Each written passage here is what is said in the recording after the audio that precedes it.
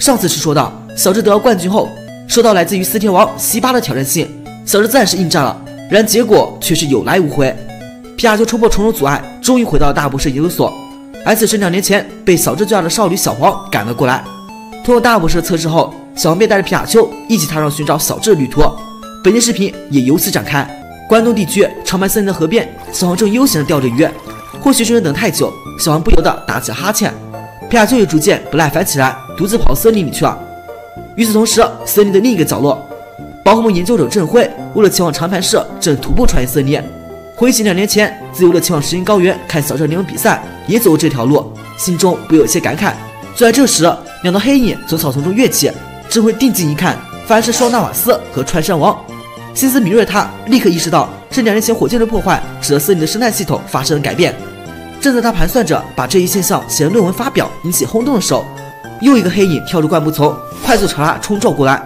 躲闪不及的他被撞到河里，沉重的行李大幅消耗着他的体力。正会慢慢下沉着，绝望间，他努力抬起头，看清了造成这一事故元凶皮卡丘。这时皮卡丘才发现自己闯了祸，急忙跑到小黄身边诉说着事情。小黄让皮卡丘不要着急，自己摸了一下皮卡丘额头，顿时就知道事情的原委，于是赶忙和皮卡丘前去援救。小黄找来一条强韧的藤蔓，让真辉握住。然而此时，一只栖在水里的海刺龙被惊动，卷起了大漩涡。在这紧急关头，皮卡丘站了起来，连续的电磁波和电击将海刺龙电到头昏眼花。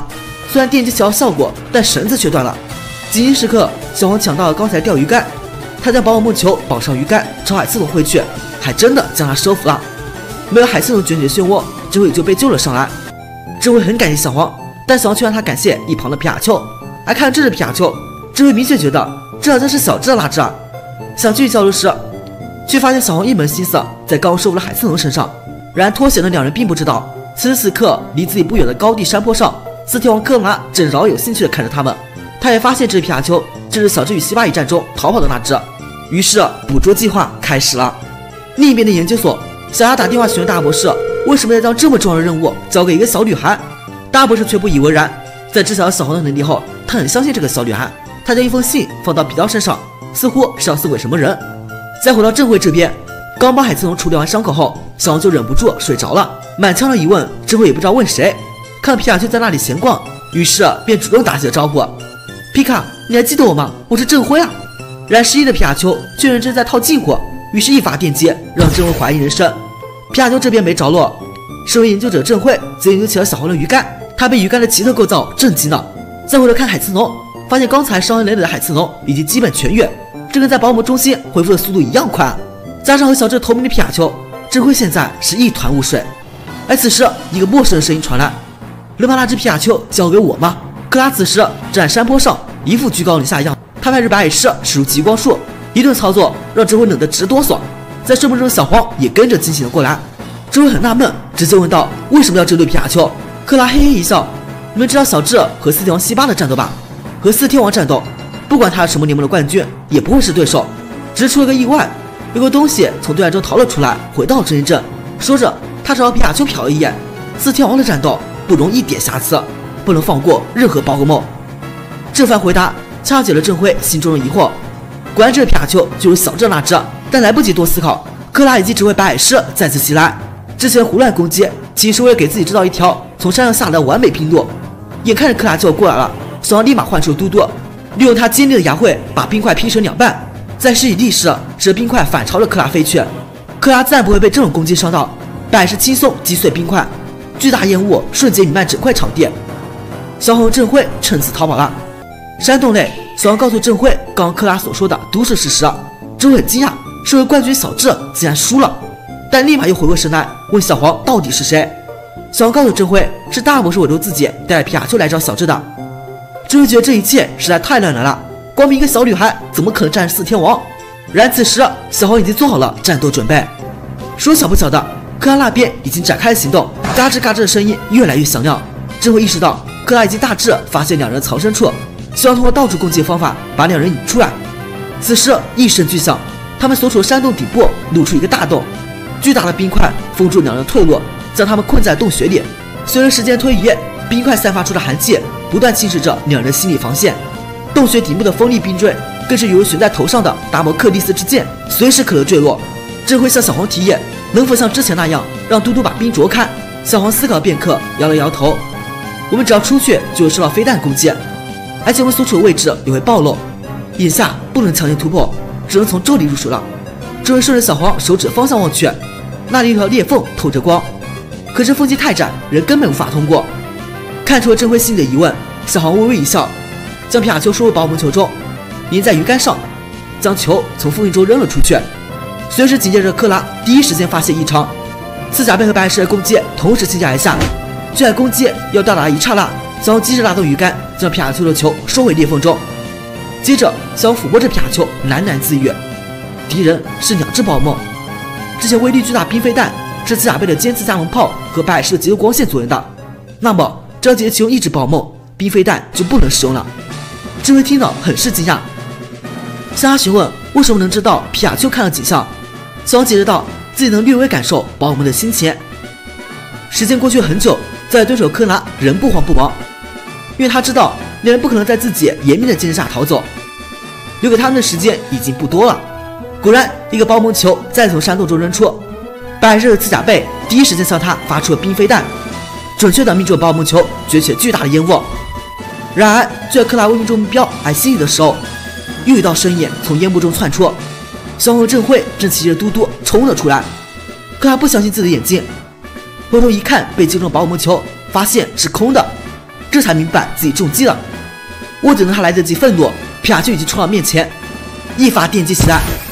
虽然刺甲贝即使用缩壳避免了致命伤，但小尾巴球电属性攻击还是使他麻痹了。这样一来，光靠白海狮就无法发出威力巨大冰飞弹了，所以两人又有了逃生的机会。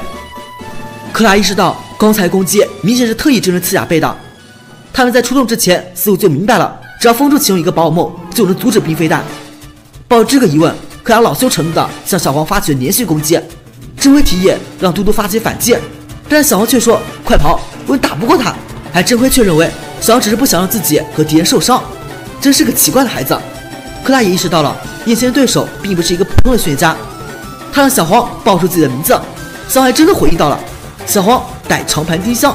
另一边，很久没见的小蓝通过胖丁偷听到了这一谈话。直接吐槽傻瓜，说了多少次不要说自己名字。不过按他那傻乎乎的样子，也隐瞒不了多久。追击还在继续着，克拉的白矮狮一边追一边用冰光铺出一条冰路，在上面滑行速度竟然比以速度快出生的嘟嘟还要快一些。眼看着就要被追上，这时小黄只能慌不择路的逃到水中。郑辉认为这下完了，现在可是敌人的天下了。克拉利用白矮狮吸引巨大波浪，换出休整后再次恢复体力的刺甲贝。使出极光术，将他们脚下的水面全部冻住。就这样，连人和嘟嘟一起随着掀起的波浪被困在空中，无法动弹。见此情况，克拉大笑不止。他走到小黄身边问道：“你告诉我，为什么之前你在洞里却知道洞外的情况？是因为你能看到皮卡丘看到的情形吗？”小黄没有回答，只用坚毅的眼神望着克拉。克拉见此，继续追问：“你现在这种能力达到什么地步了？是若有若无的读懂皮卡丘？”还是能完全把握皮卡丘过去的记忆。之前我告诉你，小智和之霸战斗失利的时候，你的眼神就告诉我，你对那场战斗并非毫不知情。是通过皮卡丘知道吧？你不回答也没关系。今天不管怎么样，你都会死。就在克拉即将下杀手的时候，一阵异响传来，小拉达将冰层咬断，两人从空中落入水中，向远处逃去。克拉大吃一惊，立马想去追赶，然而此时一道身影拦住了他。逃后的小黄、郑辉两人还心有余悸，郑辉都不禁夸赞小拉达必杀门牙太厉害了。小黄得意道：“这可是我第一个朋友，是个很特别的家伙。”另一边，石英高原，克拉和橘子正视频通话中。克拉说道：“这次是自己大意了。小黄这个女孩非常不简单，万一她真的掌握了之前皮卡丘的记忆，那我们可就危险了。原本我只要抓皮卡丘，但现在要增加一个目标了。好了，以上就是今天的全部内容了。”小王的冒险还将继续下去。小王与郑辉逃脱了克拉的追捕之后，顺着河流从森林向东一路漂流，来到了一座名为彩虹市的大城市。两人也在此处分别。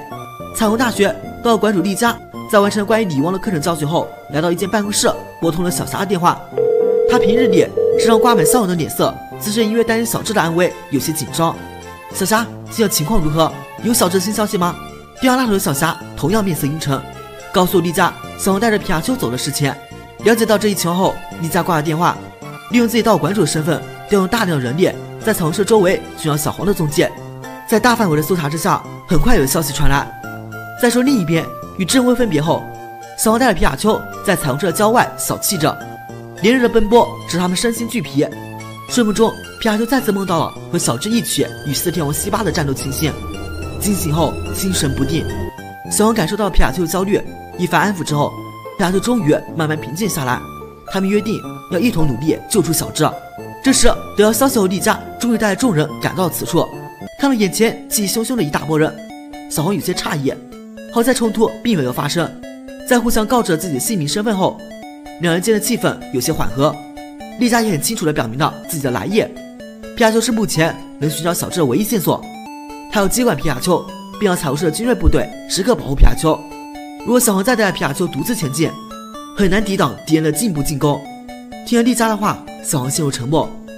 突然，一则消息的到来打破了两人间的沉默，有人在彩虹市西郊看到一个很像小智的人。听到这则消息，小王皮卡丘第一时间赶往西郊，丽佳等人也紧随其后。众人很快到了西郊，出现在眼前的果然是小智。皮卡丘第一时间冲进小智怀抱中，小王、丽佳也很热情地向小智问好。小智紧紧地搂着皮卡丘，突然靠近丽佳，丽佳便迷迷糊糊地昏了过去。小黄发现情况不对，但已经晚了，丽佳已经被控制，皮卡丘也被小智紧紧抓住，即用电击也没有什么效果。发现伪装被识破。小智也撕开了面具，竟是一个身穿白大褂的理工男。他往自己身上加入了香料，却和小智一模一样，同时也携带着绝缘装置，可以说为这次行动做足了准备。有着丽佳做人质，在理工男威胁下，彩虹社的精锐部队也不敢冒险出击。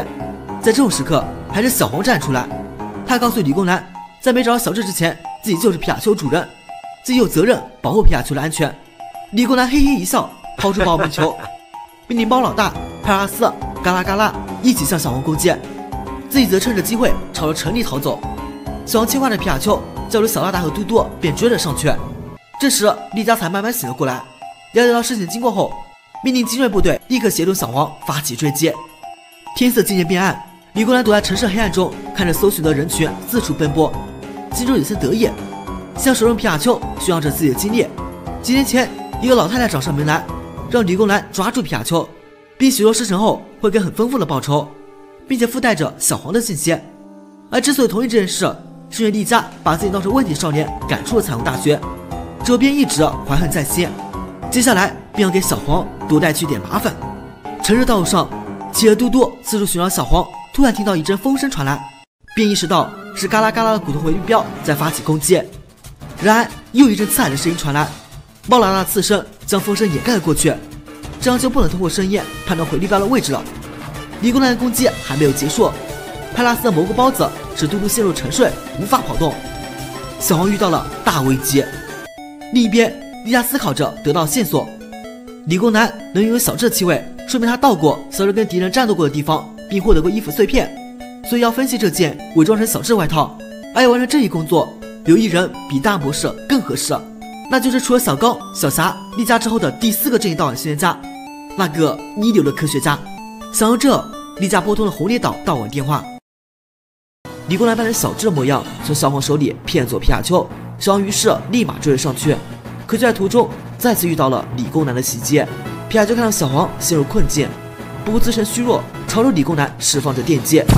然理工男身上穿着绝缘的长筒袜，皮卡丘电击。只能使电流聚集在他的身体周围，还无法造成有效伤害。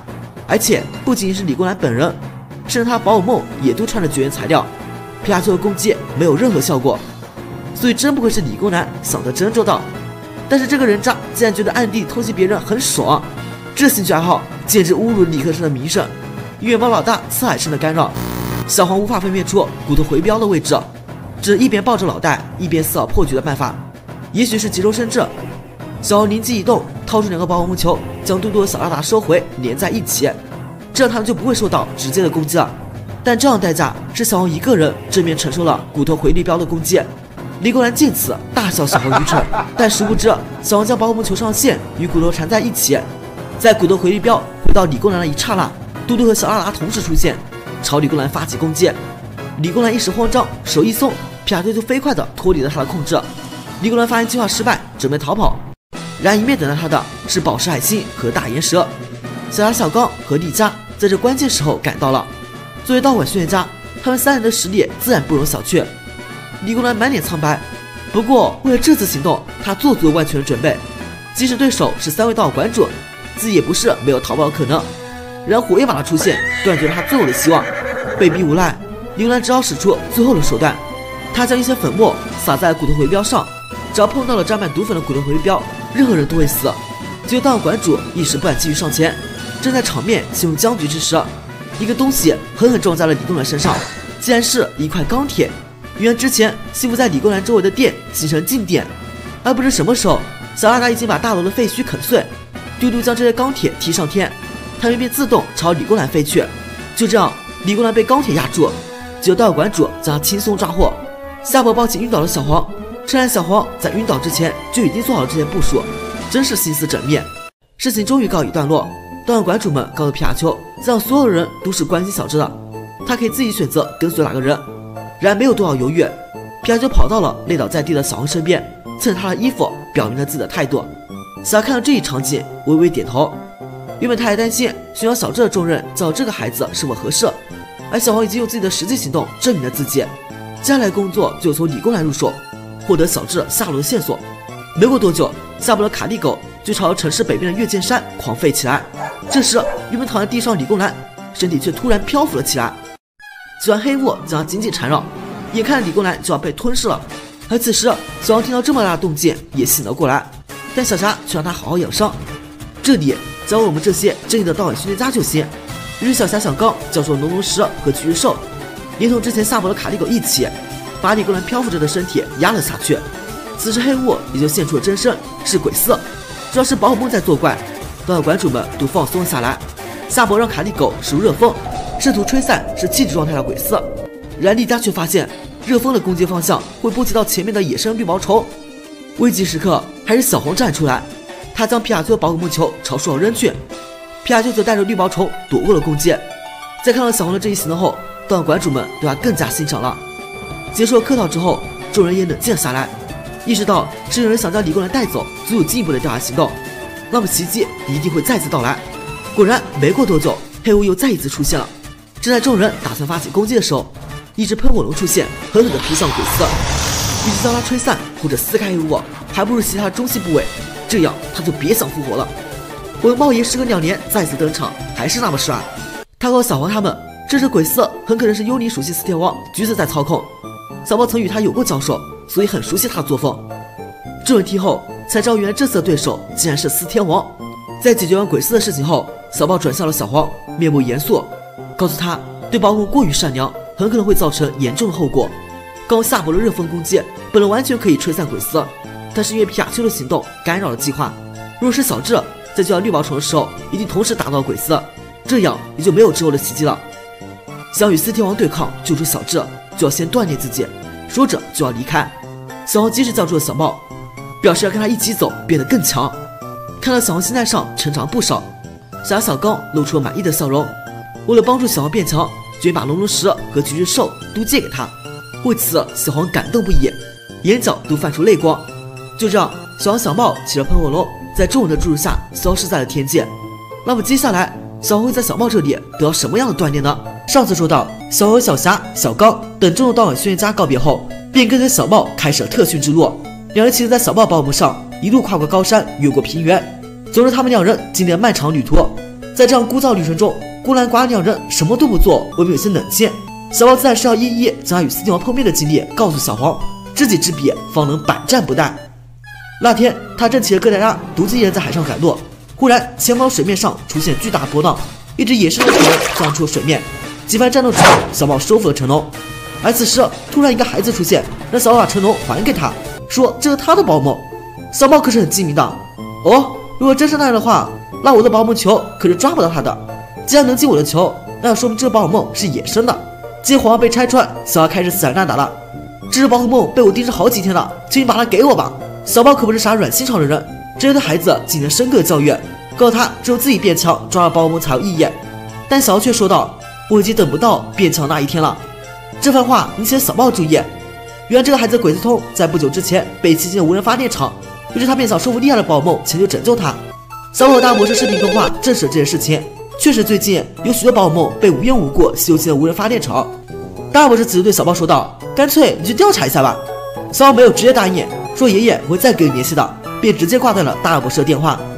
毕竟那里已经没有传说宝可梦闪电鸟了。小宝本来觉得没有必要去的，这里解释一下为什么没有了。我之前在前面说过，闪电鸟被火箭队抓走了，但现在有这个孩子的纠缠，小宝也不得不去了。两人很快来到目的地。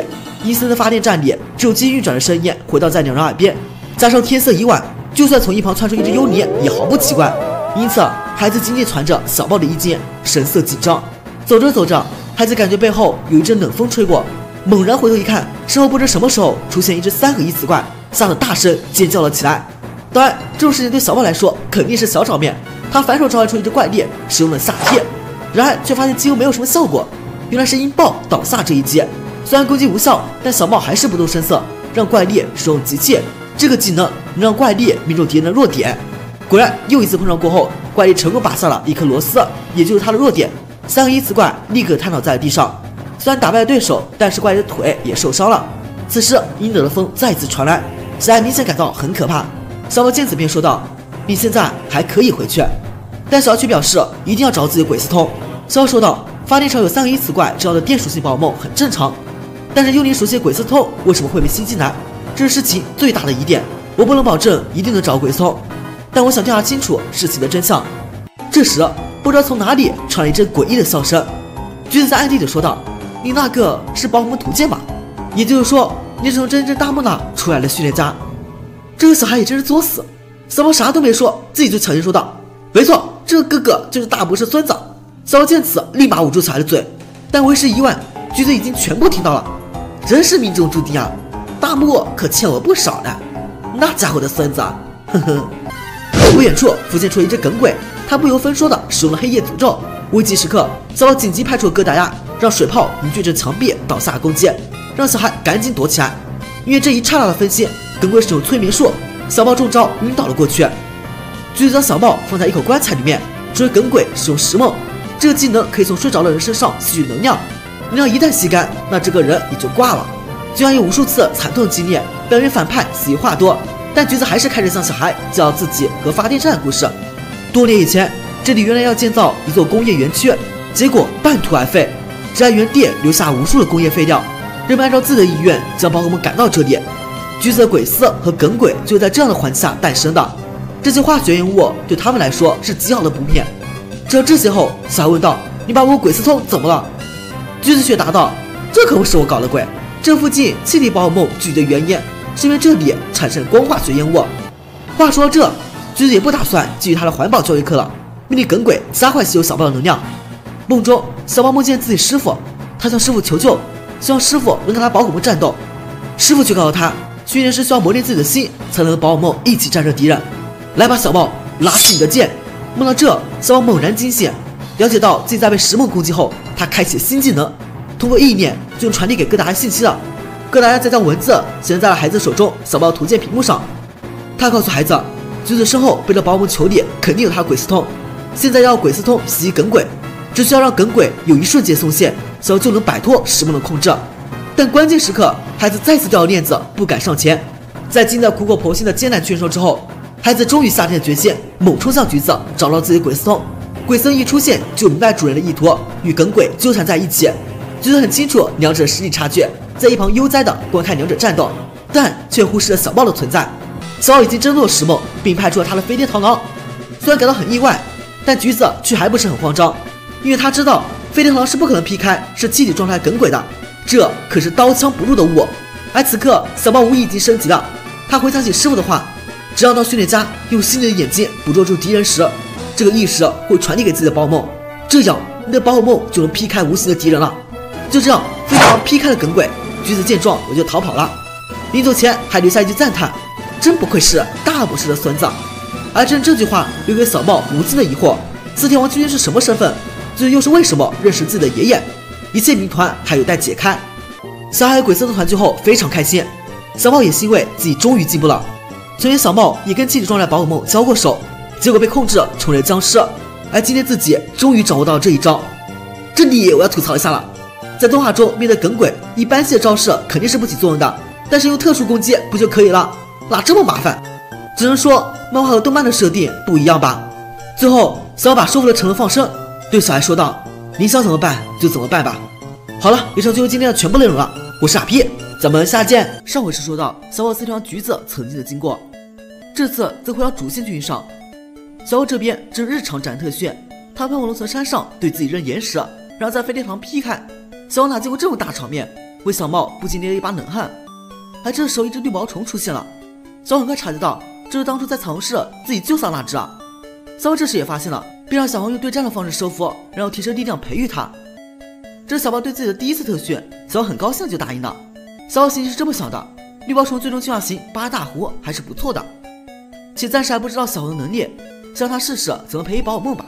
到了晚上，小宝心里想到，从早上开始收服。今天一天都在锻炼，以绿毛虫的进化速度，估计已经进化成铁甲蛹了。然而让小猫万万没想到的是，小王竟然还在那里对战。小王接着道：“抱歉，我实在没法攻击他。我一直在想，有什么不对战方式也能收服的办法。”小王对此也是无语。他小王随便让小拉达使用什么技能吧。然而令小猫吃惊的是，小王竟然这么久了还不知道小拉达会啥招式。小王此时有些抓狂了。经过一番周折，小总算是收服到了绿毛虫。然此时，小黄却惊讶地发现，小猫身体突然发光了，顿时不知所措。经验丰富的小猫一眼就看出来，这是要进化的节奏了。而小黄却白痴的问道：“什么是进化？”这问题问的小猫想打人啊！但还没打，小黄却哭了起来。原来他无法接受小拉进化成拉德后模样的改变，最后哭到直接昏睡了过去。第二天一早，小黄醒来后对小猫一番道歉，称自己不知道什么是进化，看到小拉的样子改变，一时无法接受，所以才这样。但现在不会了。小宝告诉他，如果实在不想让宝可梦进化，在图鉴上按下 B 就行了。但你的对手可是四天王二，你要考虑这样做到底好不好。另一边，一座不知名的小岛上，一个神秘的装置里正放着七枚徽章。而想启动这个装置，还差最后一枚。身为四天王的橘子对杜说：“放心吧，小杜，你果然正顺利的执行任务呢。”小奥对小黄的特训还在进行中，经过一番观察，小黄确实不想让自己宝可梦进化。而且宝可梦的理论知识相当匮乏，必须要针对这点进行特训。小雨让小黄背诵图鉴上关于宝可梦的常用知识，什么卡比兽啊、伊布啊。而这时，一群猴怪正虎视眈眈看着他们，因为这附近环境破坏，使得猴怪们不得不到处寻找食物。但现在对于小猫而言，这无疑是个很好的锻炼机会。但敌人数量实在太多了，小猫在一旁观察小黄的行动，虽然勉强能应对，但照这个样子根本打不出什么结果。这个时候。小王发现远处这群猴怪首领火爆猴，便让小黄单独把它引开，并嘱咐道：“等引到一定距离后再打开图鉴。”虽然不知道是什么意思，但小王确实这样照做了。由于没有了首领的指挥，这群猴怪一下子乱了阵脚。小王将他们一一打败，但是另一边小黄就不太好受了，眼看就要被火爆猴老碾了。突然，一只三地龙从图鉴出现了，小王让三地龙使用三角攻击，火爆猴就被打败了。原来这是三 D 的特性，电子空间转移。三 D 龙的身体本身就是程序的，小猫利用这点将三 D 龙从自己的图鉴转移到小黄的图鉴上，这也是为什么让小黄特地打开图鉴的原因。小猫正面表扬小黄实战有进步，但却发现小黄已经用自己的能力治愈好了火爆猴，并温柔地说道：“我知道你是因为必须要给大家找吃的，所以才这样的。”小猫这才知道小黄的能力。每个训练家都有各自的能力，但小黄的能力尤为罕见，是给予。这远远超过其他训练家。经此一战后，小黄与小茂分别，因为小黄还没有学会冲浪技能，于是小茂便让小黄去那边搭乘船只，自己独自离开。临走前说道：“将来你的实力能有多强，完全要看你自己的了。”另一边，四天王之霸正进行特训，在他的特训下，沙王狼以及手脚都可以伸缩自如了。面对如此强大的敌人，小黄该如何对付他呢？小黄所乘坐这艘船。正是当年小智乘坐那艘圣特安努号，在这里，当年小智遇到了俱乐部会长，也在船上。他现在已经迷上宝可梦战斗，且让自己的大嘴雀学会了聚宝钩。这本来是特定的宝可梦才能学会的技能，这也不知道他使用啥手段，竟然让自己大嘴雀学会了，并用聚宝钩，老爷是成功脱了皮。然而登上这艘自己梦寐以求的船只，两人同时在这个船上，自然自然要和这个会长打个交道。果不其然，因为船上突然故障。小黄会长几乎同时去调查原因，于是就这么认识了。当小王脱口而出皮卡丘的名字时，会长立马意识到，这然是当年小智身边的皮卡丘。听到小智哥哥，小王立马打起了精神。然而火箭队此时已经占领了圣特安罗号。话说啊，火箭队两年前就已经解散了，怎么现在又出现了呢？原来这三个人是当年只属于三干部的队长。说简单点，那就是残党。他们聚在一起，就想向世界宣布火箭队复活了。对此，我强烈不认同。没有百木老大，火箭队是没有灵魂的。小王也说出我内心的想法，我是不会让你们得逞的。小王此时站了出来，仿佛是想验证修行成果，他将所有的宝梦都放出来。然而看到这个阵容，老爷心里已经下了判断，这肯定赢不了。看到小王的阵容，火箭也不禁哈哈大笑起来，说道：“我就陪你玩玩吧。”瞧，火箭队派出的阵容是阿伯蛇、双大瓦斯、速地拍和呆呆兽，这就厉害了吗？不就半斤八两吗？小王只为自己的宝梦分散攻击，让老爷火箭队都很意外。火箭的宝梦见状上去围攻他们，然而此时船的摇晃却越来越激烈。小王意识到要先保证乘客安全才行，于是小王让嘟嘟使出旋风，将被火箭队困住拉达和绿毛虫都吹跑了。火箭队也顾不得这么多了，眼看船就要翻了，那就破罐子破摔吧！他让呆呆兽直接手念力，这船上所有的人都掀了出去。然后在苏利普使用瑜伽姿势，让他们浮在空中。这波操作很稳啊！另一边，老爷爷看着就要掉下海里了。突然，绿毛虫使出了丝线，将缠绕起来。这些丝线就跟救生圈一样，让它浮在水面上。之前掉下去的乘客也都已经坐上了救生圈。这就是小黄为什么将绿毛虫吹跑的原因了。突然，火箭队这边感受到脚底一阵冰凉。原来，巨兽在使用集中光线。火箭的一名成员本要指挥速力派攻击，但立马被队友阻止了。傻瓜，你再用速派攻击，那我不就掉下去了吗？可是不攻击的话，冰块的重力也在让我慢慢下沉啊！就这样，三人同时掉到海里，火箭被气着了，指挥阿伯怪双人瓦斯攻击，小王一个不小心，差点就被打了下去。还有这个时候，龙云及时拉住了他。之前被吹飞的拉达，此时也开始动作了，他巨大栏杆咬碎，眼看着就要砸到火箭队等人身上。小王问他们投不投降？不投降，那龙云就放手喽。这次火箭队只好认栽了。枯叶市港口，刚才啥都没做老爷开始捡漏了。你们这些坏家伙，让我给你们最后一击，看我的聚宝功！哈哈，都被我收拾了。小黄在旁边看得直尴尬。从小黄这，老爷已经知道了小智失踪消息，说着就要告诉小黄曾经小智的故事。但在此之前，要先给小黄讲一个关于枯叶市的传说。下集预告：枯叶市的传说到底是什么？在这片海域中，到底隐藏着什么样的秘密？关心度也已经迫近估计师了，小黄和他的对决即将一触即发。上回说到，小黄打倒火箭队残党，都被老爷子告诉小黄曾经小智的故事，而这就涉及到了古野市百年的传说。普通进化石用一次就会消失，而传说在某个地方有种进化石，让宝物进化后也不会消失。这个地方就是孤叶港口的海底。等等，小黄纳闷的问道：“这跟小智哥哥有啥关系？”哎呀，年轻人，怎么老是想着小智哥哥？我正要说呢，这就要回到两年前了。两年前，小智和马智的对战，他的蚊香蛙被打入海底。然而出人意料的是，他竟然进化成快眼蛙，并救下了小智。这要说没有水之石是进化不了的，所以当年的 bug 在这里得到了解决。原来龟月石的海底沉着永远不会失去效用的进化石，传说它藏在圣界中，至今还没有被人找到过。于是小红就决定去寻找这个神秘的地方。呀呀呀！你怎么这么冲动啊？我给你钱，到时候发现了，请告诉我地址。乌叶港的海面上，小黄让橘子兽观察海底的动向。这里有一群独刺水母，似乎不让小黄靠近。而这个时候，这群独刺水母的老大出现了。小黄赶紧让橘子兽出来战斗，然而却发现他们并不是要攻击，而是想求小黄救他们的伙伴。小黄 get 到意思后，潜入水中，想借助浓烟的力量来帮助水母从岩石中挣脱，但毕竟是在水里，浓烟和小黄都无法化为全力。好不容易成功，小黄却因为缺氧晕倒了过去。当醒过来后，小黄却发现自己已经身处一个神秘的地界，想必这里就是圣界了。小黄在这里发现夜之石，但奇怪的是，其他三种进化石却已经不见了。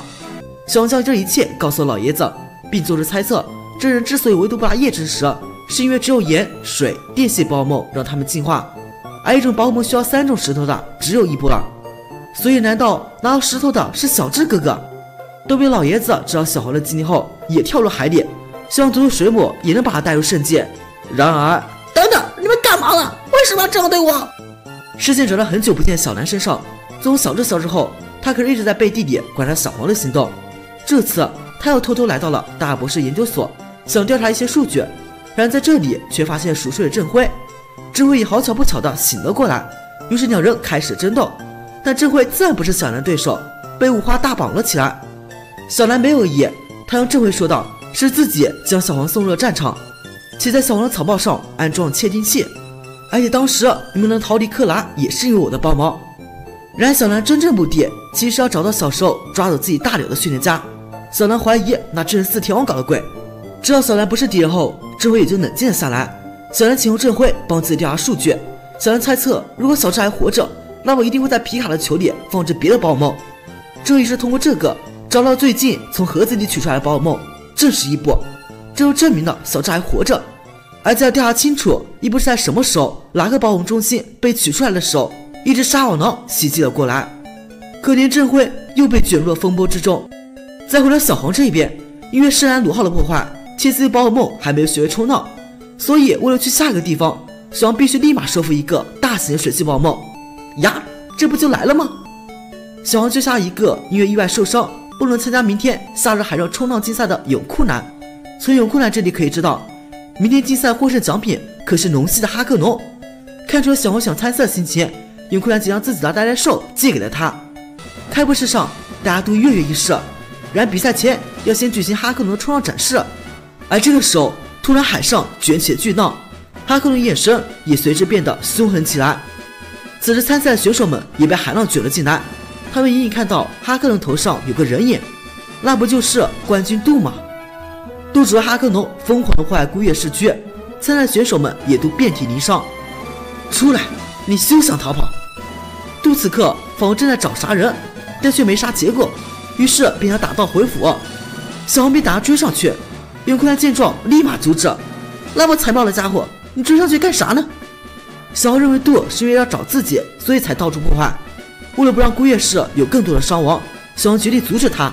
走之前还特意把呆呆兽还给永坤男。我们再回到小兰这边，作为四天王西巴的沙网狼非常不好对付，那自由伸缩的手脚。让小兰智慧不得不躲了起来，而选择让水箭龟独自跟他对峙着。感觉到沙网狼一直在找他们，小兰不敢出声，但不出声又无法指挥水箭龟攻击。于是小兰便将声音的波长包到泡泡里，让它传到水箭龟的耳边。而此时的沙老狼已经紧紧缠住了水箭龟，情况非常危急啊！在这关键时刻，小兰的指令终于传到水箭龟的耳朵里。水箭龟背上炮可不仅能够发射水流。近身战也是有用的呢，沙狼就被这样打下了悬崖。但小兰也意识到了，这沙老狼并不是来抓自己的，而是来拖延时间的。那就意味着现在小黄有危险了。回到小黄这边，费尽一番功夫，小黄总算是追到了杜。一番对峙立马展开，小黄直接质问道：“为什么要摧毁城市和伤害无辜的人？”杜霸气的回答道：“因为要找人，那样可以省很多力气。”小黄这番行为也可以说是送死！自己跑到冠军杜这来，这不是狼入虎口吗？杜指挥哈克农攻击，打到中，杜也暴露出自己的目的，那就是消灭除优秀训练家之外的所有人类。哈克的攻击猛烈进行着，他卷起皮卡丘一跃飞到天上。接下来就是龙系天王杜的表演时候了。杜拥有可以控制龙的力量，并且可以呼风唤雨，而且哈克龙破坏死光还可以自由改变方向。在这样的情况下，皮神根本不是对手，被重创在地。而此时皮亚就做了伤痕，暴露出这不就克拉追捕的那只吗？那么这个女孩肯定就是小黄带长盘丁香呢。得知这个事之后，杜饶有兴趣的想让哈克龙将他们全部抓到克拉面前，这样自己的同伴肯定很高兴。看到皮卡丘被紧紧缠住，小黄突然想到让皮卡丘使用替身技能，真身皮卡丘最后朝着杜发起了攻击。杜此时也被惹恼了。都说了饶你一命，偏偏不知深浅。哈克农一招龙之路，顿时卷起整个海面，想和皮卡丘一起坠入了海中。这里要吐槽一下了，明明自身难保，小王竟然还想着要阻止杜，不要让他破坏其他城市。在挣扎中，小王惊奇的发现了替身皮卡丘放出 HP 值是可以避水的，于是前方何能？小王骑着用皮卡丘排出的 HP 值做成了板子追了过来。不原点，问了就是不知道。杜也完全没想到，小兰竟然还能这样，大意的被皮卡丘的十万伏特正面击中。在爆炸声中队友不见了踪影，事情也算是告一段落了。不过，既然知道如何冲浪，想必带皮卡丘赶往海的对面。小王的冒险还将继续进行着。上回是说到，皮神学会冲浪技能，能不防的把杜给打跑了。小王骑着皮神来到下个岛屿，在这里，小王遇到一只受伤的大葱鸭，在帮他疗伤之后，通过心灵感应得知，大葱鸭是迷路了。但照理来说是不可能迷路的，原来是森林的位置发生了改变。小王起初以为是森林在移动，但仔细观察。原来移动的其实椰蛋树和走路草，想将这一切都告知了大博士。大博士敏锐地猜测到，野生动物对危险则是能够提前感受到，比如说天灾，或者是和天灾一样巨大的力量。果不其然，在苏方岛上，佐克拉已经知道这渡的手段了。帮助大村家找到巢穴后，小又一路来到猴年岛，这正是道馆主夏伯所在的地方。在这里，小黄遇到一个奇怪的老爷子，老爷子将小黄带到一个研究所里，然后直接亮出身份。这不就是道馆主夏伯吗？夏伯对小黄说道：“你来的正好，之前拜伦小刚调查的事情已经有了结果。”小刚急匆匆打电话过来，说自己在月见山发现了小智。小黄、夏伯都一脸惊讶，忙问道：“小智现在还好吗？”小刚这个憨憨立马就不好意思了，立马纠正：“准确来说是发现小智曾在这里待过。小刚在这里看到小智冰雕，所以也就是说，曾有人把小智冰冻在这里，但之后小智又逃了出来。”这算是不幸中的万幸了。而此时，小牙电话也打来了，慌乱的说道：“林比市被格斗系宝物围攻了，而且不只是林比市，自己的华兰市、丽家彩虹市都被袭击了。”小刚听到消息后，立马动身赶往林比市。此时，林比市内以万历为首的格斗系宝梦正疯狂的破坏着，华兰市则是一群幽灵系宝梦，彩虹市则是冰系宝梦，这就一目了然了，肯定是橘子、可拉还有智霸所搞的鬼。四天王的攻击终于开始了，夏普却知道这反而是个好机会。实际上，夏伯通过调查已经知道四天王大本营的所在地了，趁着敌人兵力都不在，这是进攻苏方岛的好时机。夏伯当即决定要和小黄一起赶去苏方岛。然而此时，夏伯却突然头疼，他让小黄拿着地图先去岛屿，自己随后就到。小黄走后，夏伯喃喃自语道：“知道了，一定会带你去的，毕竟是为今天才特别训练的。”苏方岛，夏波已经到了这里，然而另外一个身影也在登陆岛屿，这不就是小茂吗？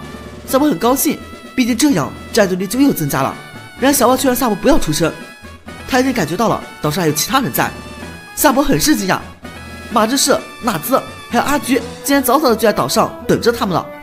小豹直接问道：“为啥你们会在这里？毕竟当初火箭队解散后，他们就好长时间没有出现了。”纳兹回答道：“这事以后再说。”此时，克拉已经感觉到岛上有入侵者了，肚子呵呵一笑，转问道：“智霸去哪里了？”克拉答道：“正在月见山找小智呢。”月见山上，智霸仍在寻找着小智。他喃喃自语道：“从来没有遇到过像你这样让我在战役中这么有激情的人。”说着，就陷入了漫长的回忆。小智拿着挑战书到了目的地，大吸一口气，对着空气喊道：“给我送挑战书的小子，我来喽！”等待中。小智脚下的地突然凹陷，一只大岩蛇隆地而起，智霸也随之现身。真心真小智，让我见识下你的厉害吧！智霸第一只宝梦是能自由伸缩手脚的沙朗狼，小智则使用皮绳一战，沙朗狼使出飞机撞，小智则让皮绳对着他膝盖使用电磁波，然而皮绳却打偏了。因为沙朗狼能自由伸缩手脚，所以智霸断言要想看清楚沙狼的膝盖那是不可能的。照理说，面对如此强敌。小智起码应该着急一下，然而这一此时却忍不住颤抖起来，哈哈大笑。自从小智夺得冠军之后，陆续遇到不少挑战者，但那些都是小角色，已经好久没有遇到势均力敌的对手了。小智双眼开始有了神色，打算认真对决了。此时，把派出第二只宝梦艾比囊，小智快女蛙来应战。快女蛙的连环巴掌立马就起了效果。小智认为，像艾比囊的这种攻击力，对快女蛙来说简直是小儿科。艾比的双拳被快蛙紧紧握住，然没想到战况立马转变。艾比狼左拳是火焰拳，但右拳则雷光掌，这对快点蛙来说可是效果显著的。小智忍不住称赞：“真厉害，竟然没发现。”那么既然这样，上吧，暴龙！小智骑在暴龙身上，而智霸则骑在大岩蛇身上，双方开始了拉锯战。智霸说道：“你刚说和水平相当的战斗会有一种燃烧的感觉，我也一样。”战斗才是我的一切。不远处，橘子和克拉正观望着这场战斗。恍惚间，克拉竟回想起了和橘子第一次会面的场景。当时克拉的白海狮因为中了工业废弃毒，生命垂危。橘子及时出现，让鬼斯吸收了毒物。最后，克拉在你保我们生活的地方放毒的家伙，你恨他们吗？恨的话就加入我们吧。画面再转到小热这边，暴龙的水炮迟迟无法攻击到大岩蛇，米只要击中一次就重创对手。没办法，大岩蛇速度实在太快了，暴龙追不上。不仅如此，大岩蛇还紧紧地缠住了暴龙。面对如此情况，小泽暴龙咬住大岩蛇的身体，只怕见此，则让大岩蛇挖洞逃到地下。为了预防大岩蛇出其不意的攻击，小智则拉出妙花，让妙花的藤鞭全方位的感受地底的动向。刹那间，大岩蛇腾地而起，妙花的藤鞭则刚好捕捉到它。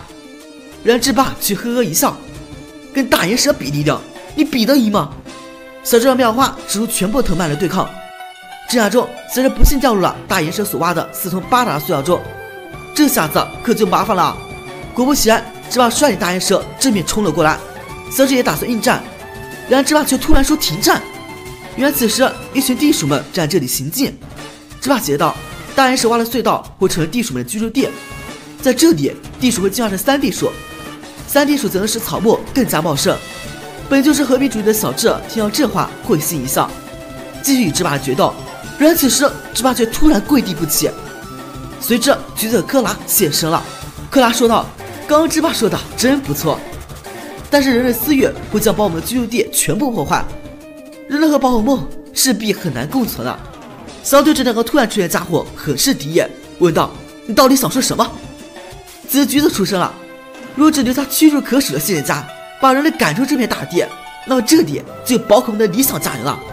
为此，就要产生一股巨大能量。”说着就拿出了装置。小智很惊讶，因为这个装置小智曾经是见到过的。克拉说出了让小智来到这里的真正目的，那就是要问出第八本徽章的持有者板木的下落。小智观察目前情况，现在智霸好像中招了，而自己在这个狭小洞里很是不利，于是便派出化石翼龙带自己飞出去。然而克拉立马召唤出了明真姐，紧紧地缠住了小智。在克拉逼问下，小智说道：“自己在和板木的对战中晕了过去，他去哪里了？自己根本不知道。”见小智好像真不知情，克拉便说出了叫小智来的第二个目的，那就是要测试小智的实力，看小智够不够格成为他们的同伴。毫无疑问，小智表现让他们相当满意，但小智肯定是不答应的。小智愤怒的召唤出了卡比兽，然而此时虽然是三对三，但情况对小智却是压倒性的不利。克拉见此也不打算放过小智了，因为小智的实力已经威胁到他们。说罢，便让明春姐、鬼司和沙尔狼联合使用大招冰斗泥之阵，这听都没听过。在一阵强光下，小智宝可梦竟全部倒地。克拉则趁胜追击，使出了自己的冰人偶，让小智手脚都不能动弹。因为知道小智还有一只皮卡丘，所以连皮神也不放过。橘子则还给整座山添加了迷雾。小智此时可以说真是绝望啊！可他走之前让智霸动手解决掉小智。小智想唤醒智霸，但却根本无用。智霸只会杀狼，对小智一顿猛攻。皮卡丘想过来帮忙，但自身也难保。绝望之际，想让皮卡丘快跑。他们犯的唯一错误就只动着皮卡丘的手脚，另外皮卡丘的尾巴是雷达，所以迷雾是没用的。小智仿佛是做了最后的嘱托，让皮卡丘逃走去通知大博士。这些家伙是想毁灭世界啊！说完，小智便掉下悬崖，在悬崖底下，小智还挣扎一番。他担心大博士无法理解皮卡丘，毕竟皮卡丘又不会说人话。但愿有人等你心情的训练家啊！这里真要心疼咱们职业一秒啊！另一边，皮卡丘又做同样的噩梦了。小黄正要询问时，小蓝则出现在了小黄的面前。本期故事到此结束。上回是回忆了一下小智输给四天王的全过程。回忆完了之后，小黄和郑辉突然出现在小黄的面前。小蓝向小黄解释，当初给你的草帽里携带跟踪器，所以才一路来到这个岛屿。在岛上行动不久后，小黄等人很快和小帽他们会合了。拉兹表示，四天王毁灭世界计划会伤害到火箭利益，所以必须打败他们。要不然火箭队就没有东山再起的机会了。本着敌人敌人是朋友的原则，于是桃花四天王大军正式组成。因为是四天王，所以八个人决定通过念力掏勺的手段分成四组。这个念力掏勺可以将拥有相同想法的人分在一起。分组结果很快出来了：拉兹和小南一组，马志士和郑辉一组，小茂和阿菊一组，小红和夏博一组。嗯，不得不说这几个组合都很有意思呢。好了，决战正式打响。首先，我们先来看一下小茂和阿菊这一组。两年前，小茂曾经被阿菊控制成为僵尸，好在有小智帮忙才解围了。但现在作为战友，要拥有共同的敌人，于是小茂便将曾经阿菊的大嘴符还给了他。阿菊的实力自然是不可小觑的。听到异响，小茂还没反应过来，他立马扔个手里剑出去，一只阿魔怪出现了。那么也就是说，小茂的对手是四天王的橘子。正当小茂想拍出宝可梦时，阿菊却拦住了他，自信的说道：“我的宝可梦已经过去了。原来之前扔出的手里剑其实球状手里剑，里面是有宝可梦的。”一场蛇对蛇的大战即将展开，但橘子却仍然没有露面。而此时，一招山崩地裂突然发动。橘子暗地里阴冷的说道：“这里可不是普通岩石，而是钟乳石哦！”在这种攻势下，小宝艰难的躲避着，而趁着机会，橘子让耿鬼使出了铁舌头。这招效果让小宝的眼睛睁不开了。阿菊察觉到这点，立马想去支援，却被接下来的山崩地裂挡住。这个技能使得整个洞穴成了迷宫。就这样，阿菊和小茂被迫分开了。小茂这边情况很是危险，因为看不见，不能轻举妄动。好在有阿菊大嘴符在身边。小猫的大嘴符使用超音波探测橘子的位置，但却被另一种音波干扰了。果然，毕竟橘子可不是傻子，他也派出了大嘴符来攻击小猫。而阿菊那边，橘子也终于现身了，因为都是用蛇的训练家。橘子说道：“感到有点亲切呢。”但四天王和道馆馆主之间的能力肯定是有高下的。阿伯怪的符文有很多种，每种都有不同的能力。而橘子拥有能自由改变阿伯怪能力的死亡化妆技能。此时的阿菊已经被阿伯怪紧紧的缠住，陷入了大危机。但是阿菊毕竟也是用毒的专家，当看到阿伯怪腹部的花纹时，已经想到对策。但是这必须要用在大嘴夫才行，而大嘴夫此时还在小茂那里。局势现在对橘子来说是非常占优势的。橘子只会自阿伯怪将阿菊的阿伯怪的尾巴咬断了。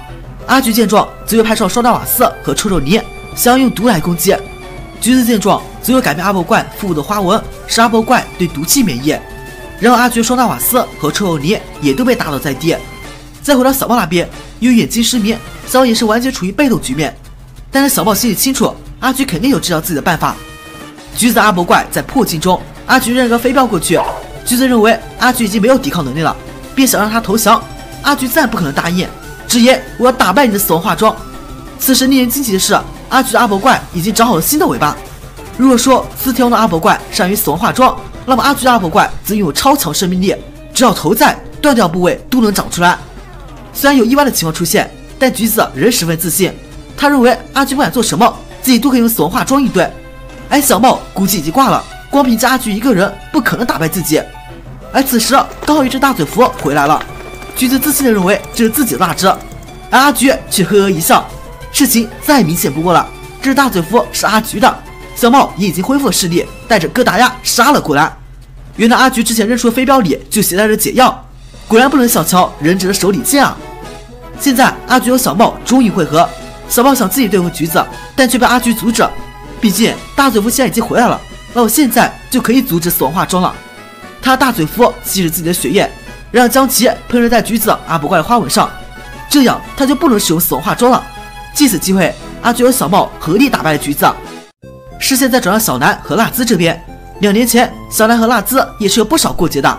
当时小南闯入 CF 大厦，遇到的对手就是纳兹。当时纳兹凭借强大超能力，很轻松的就抓住了小南。小南却用激将法嘲讽纳兹身材不好，见纳兹直接朝着小南的胸部攻击。然而古往今来，谁又能想到有人竟然往胸口藏球？小南凭借这招绝地翻盘，顺利逃跑。这一波操作也震撼了我们这些读者，原来还可以这样。虽然有这段往事在，而现在他们必须合力打败四天王。在洞穴中，他们发现训练家的徽章在闪闪发光，而就在他们慌神瞬间，小拉拉兹的手被铐上了，克拉也随之登场。他解释道：“这由明水姐根据你的样子做成冰人偶，然后用自己的口红在上面做记号，相应的部位就被锁上。”要我说啊，这就是个 bug 技能，好吧？克拉，你直接把他们的头拧下来不就好了？战斗结束，克拉让铁甲贝使出启动光线。小兰和辣兹这边的配合就不默契了。小兰的尼多拉使出连环腿，辣子让莫如使用睡眠粉，而这不仅被铁打贝的暴风雪挡了下来，而且尼多拉还被自己人的睡眠粉弄昏了过去。这下子小兰和辣子的矛盾就激化了，然而根本来不及好好吵架，明春姐也攻了过来。而就在这瞬间，辣子察觉到了克拉这是在特地针对小南啊！突然，克拉拿出一只莫海马，这正是小南的那只，一次作为要挟让小兰过来。即使辣子告诉小南那肯定是阴谋，但小南愣是不听，带着辣子冲了上去，结果被明春姐拍晕了。这下可好了，只剩下辣子一个人了。辣子通过耳语告诉自己莫若娥，要他抢夺克拉冰人偶，而提亚贝却挡在他的面前，并使用缩合绝招，这下就麻烦了。但随即辣子却让莫若娥再来一次。克拉则又让铁甲贝使用缩壳，这样来回几次后，克拉突然觉得不对劲了，铁甲贝竟然萎了。原来辣兹一直在佯攻，其实一直在使用百万的吸收，吸干了铁甲贝的体力。随着克拉与辣兹进行了第二回的较量，辣兹派出了蝴蝶，克拉则是呆鹅马。然而蝴蝶的幻象光竟然对呆鹅马一点用都没有。原来呆鹅马早就使用了瞬间失忆，一旦遇到特殊攻击，马上就会忘却所受的重伤。怎么样？不管你们多想反抗。我们四天王始终强过你们，克拉说着，便让明真姐给他们最后一击。祸不单行，与拉子绑在一起的小南脚下一滑，即将掉下悬崖。克拉在旁边冷笑道：“把那个累赘甩了吧，比如砍掉小南的手，至少你还可以逃跑。”但纳兹可不是小人，虽然曾经为敌，但至少现在是朋友，怎么可能做出那种不义之事？这时候的纳兹真是圈粉无数啊！那我就成全你吧。克拉让明春姐使出拍击。小南和辣兹都摔下悬崖，不过事情当然不可能这样结束。在轰隆声中，小南带着辣兹骑着水箭龟上来了。注意，水箭龟是往下喷水才飞起来的，可不是本身就会飞哦。之前克拉一直针对小南攻击，到现在也得到解释，那是因为小南一直在背地里偷偷帮助小黄扰乱四天王的计划。然而更让人惊讶的是，为了找到小时候带有自己大柳的训练家，小南早在两年前就开始准备了。两年后，得知带走自己大柳的训练家是杜，而杜的实力十分厉害，而且还拥有特殊能力。相传只有长牌训练家才能够对付他。还说巧不巧的，小兰刚好碰到了皮亚丘被追杀的场景，本想去寻找他，却无意中发现了小黄。从小兰画册中看到小智后，并且知道小黄也是长牌训练家后，一个计划就在小兰心里生成了。小兰小黄前往真心镇，并且让他隐瞒自己全名，将他扮成男装，因为怕被人欺负。而且还在他的草帽里放了窃听器。说完这一切后，小兰狡黠一笑，告诉克拉：“之所以告诉你这些，是因为我已经稳操胜券了。”说完就派上自己的皮可西，皮可西的变小技能让敌人根本没有察觉，就这样顺利的从克拉手里夺回了冰人偶，然后再派出水箭龟掩护皮可西回来。然而在水箭龟与明春姐的打斗中，冰人偶竟然破碎了，小兰的手臂也随之断开。克拉见此哈哈大笑。这就是你们跟四天王作对的下场。不，这是我的策略。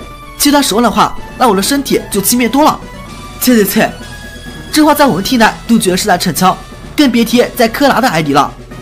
柯拉直接转身，然而此时地上手腕突然变长了，随即便将克拉捆绑了起来。原来这竟然是百变怪。小兰早就从一开始就做好万全准备，他真正的手臂就藏在自己的袖子里，而百变怪则暂时变成他的手臂。所以这也就是为什么小兰刚进洞穴就披上外套的原因。克拉见状也是输了心服口服，但自己还是觉得可惜，因为克拉起初也是不想让自己的小海狮再有那样悲惨的经历，才实施宝可梦理想乡的计划。但现在已经太晚了。打败克拉后，小兰本想叫醒纳兹，谁知道纳兹早就已经醒了过来，并且听到了他之前对话，一番争吵势必是不可少的。你这家伙竟然连我都骗！呀呀呀，别生气嘛！不是说过要想瞒住敌人，首先要骗过自己人吗？本期故事到此结束。上回说到，橘色和克拉纷纷被打败，这次让我们将视线转马志士这边。本来按照套路，马志士应该是和小智搭档的，然而现在却换成研究者郑辉。从战斗力来看，这一组无疑是最弱的。从马芝这边，我们得知惊人的消息。还记得上回小黄打败火箭队残党吗？原来那是马志士故意安排他们这么做的。他们本来想霸占那艘船，然后散播四天王找的人就在枯叶市的消息，全将四天王聚集在枯叶市，到那里再进行决战。然而这一切都被小黄破坏了。在这抱怨之际，四天王之一的智霸也随之登场。他站在大岩石上，居高临下的看着马志士和郑辉。这场搏命的战斗，因为大岩石作为桥梁底下是可以融化一切的粘液，只要谁掉下去，那也就死翘翘了。战斗立马展开，马志使用电击兽，郑辉则用六尾，但这属性组合恐怕奈何不了大岩蛇吧？而芝霸却不用大岩石战斗，说道：“我可不想用一种类型的宝可梦。”芝霸使用的是怪力、艾比挠和沙尔挠这些格斗系宝可梦，一番交战下来，你来我往的，电击兽六尾终究不敌格斗系宝可梦的力量，即将被打落进地下。刚说过掉下去那就 GG 了。而这一战况一直被小黄和夏伯看着。小黄夏伯所处的这个地方比较特殊，用一句话来概括，那就是只能他们看见马之士，而马之士看不见他们。见马之士有难，小黄夏伯当即决定出手帮忙，然而攻击却根本到达不了芝麻那边。而芝麻却感受到了竞技场外有股强大力量，当即喝令：没用的，你们的攻击可破坏不了这，并生气的让他们赶紧走，不要给自己的战斗泼冷水。哎，芝麻不愧是战斗狂人啊！与此同时，马志这边也知道竞技场外有人，但是无奈得不到别人的帮助。眼看局势对自己越来越不利，马志是对郑辉说句悄悄话，然后搞笑的一幕就发生了。在怪力全力进攻的时候，马志和郑辉拔腿就跑。是啊，打不过就跑啊！这让我看到一种我可以做到战斗方式啊。不过马志的逃跑其实是一种策略，在逃跑过程中，他一路放置大量弹弹和顽皮弹，在他们爆炸组合下，大岩石受到重创，掉下泥液中。而马志士却早就做好了准备，他利用三合一磁罐当即做个电动救生舱，让郑辉浮在空中，而马志士自己却处于半空中，非常尴尬的。本以为制霸会一直掉入泥液中，但没想到制霸竟然凭借能够自由伸出手脚杀老狼爬了上来，情况相当危急。制霸直接将马志士打了下去，好在三个一磁怪死死抓住，但制霸却瞪了一眼，将三个一磁怪全部打倒。马志士这下真的绝望，但前方高能。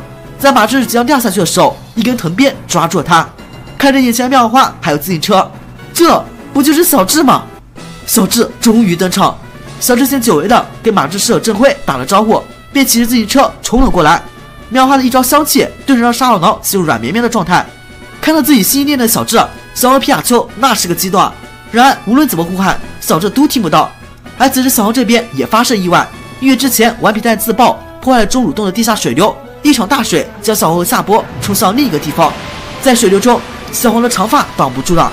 夏波才知道，原来小黄竟然是个女孩子。让我们再回到小霞那边，小霞和丽佳一直在保护着自己所在的城市，但他们也发现了，原来四天王只攻击有道馆主所在城市，而且看似毫无章法攻击，全都是为了获得道馆徽章啊！知道这点后，小霞将这一切信息传达给宝石海星，让他前去苏芳岛告知同伴，并盼望着他们的平安。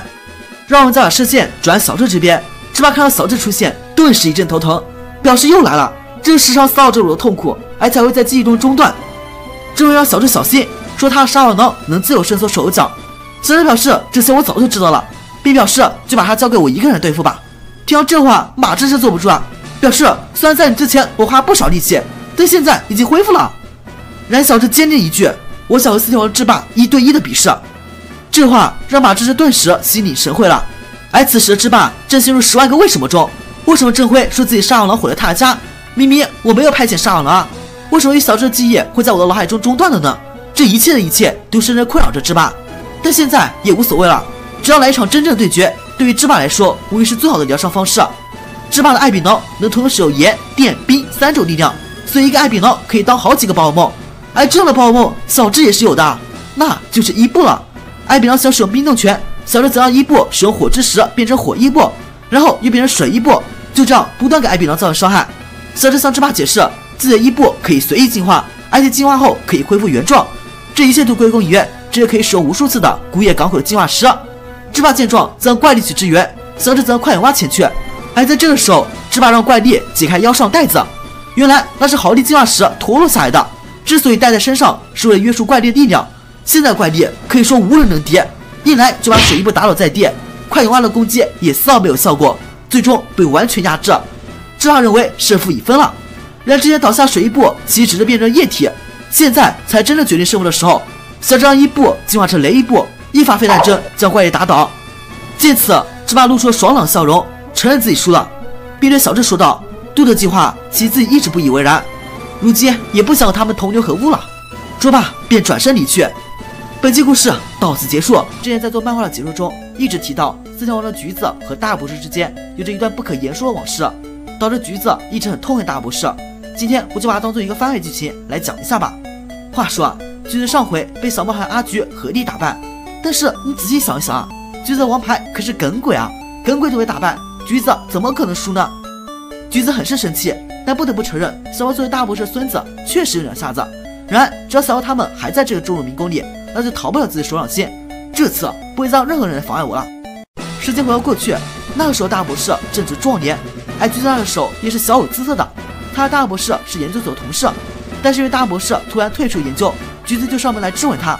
大博士表示，小组只知道研究如何控制宝梦，这跟自己理念完全不符。听到这话，橘子打算来硬的了。派出耿鬼和鬼司来攻击大博士，大博士则派上戴农和吉利蛋来防御。在打斗中，橘子质问道：“你退出研究所打算干什么？”大博士表示自己想做包梦图鉴，可以将包梦的形状、名字记录下的完美道具。但是要完成这个图鉴，工程量务必是巨大的。面对橘子质疑，大木却表示那是我的子孙会继承下去，继续做的。这战斗就这样不了了之了。而且橘子还回想起了第一届实力大会，当时他和大木一起闯入了决赛。大木以微弱的优势获胜，他一直很不服气。另一边，小包图和受伤阿菊正一步一步走出迷宫，还殊不知根鬼已经潜入到了他们的影子里。在他们以为快要走出迷宫的时候，却惊喜地发现当时阿伯怪被砍掉了尾巴。这也就是说，他们一直在原地踏步！而且倒在那里的橘子竟然也不见了。